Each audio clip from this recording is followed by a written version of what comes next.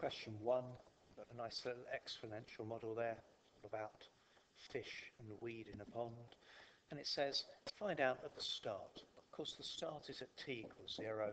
And so what I'm going to do, I'm going to put a equals 105, take away 12, e to the 0. Of course, we know that e to 0 is 1. So I've got 105, take away 12, which is 93. Um, surprisingly, for the one mark, the very first mark, we actually need the unit in here as well.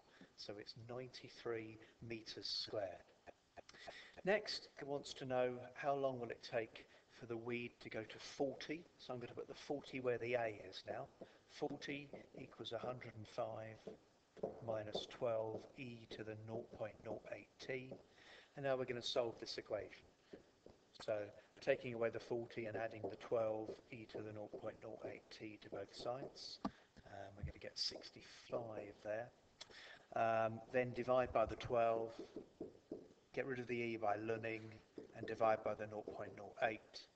And when we've worked through all of that, that finds out that the time is going to be 21.1 days. Of course, you might be worried about your logs, so you bring up your calculator to check this. We can type the equation in like that, and of course we can just do a shift solve to see what happens, and it gives us very quickly 21.1, the same as we had there. Um, part C, um, it says something's going to happen at 30 days, explain why I should not use the model.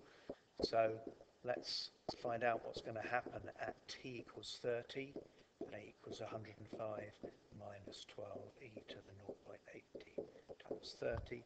And when you tap all of that in, it gives you a negative area. a equals minus 27.